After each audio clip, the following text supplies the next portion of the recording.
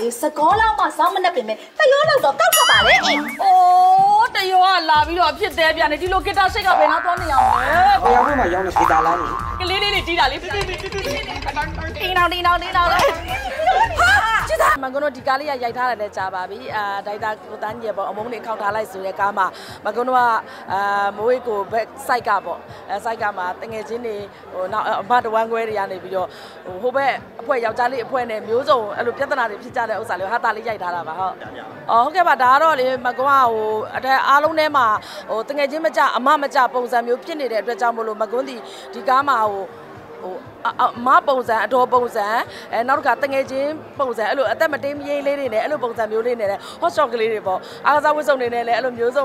ဟိုဘက်အဖွဲ့နဲ့ဒီဘက်အဖွဲ့နဲ့ရံဘက်ဖြစ်နေတော့ခြေကြတာပေါ့တယောက်လေးတွေအဲ့ဒါလေးတွေလောက်ထားပါတယ်မကွန်းတို့ကတော့ဒါကတော့အမြဲတမ်းစက္ကန့်မလန့်အတူတူကိုရှိနေပါတယ်အဲမကွန်းရဲ့ဘေးနားမှာလည်းအမြဲတမ်းသူကရှိတယ်မကွန်းရဲ့ပါရမီဖြည့်ပဲလို့ပြောရမှာပေါ့အားလုံးအဆင်ပြေပါတယ်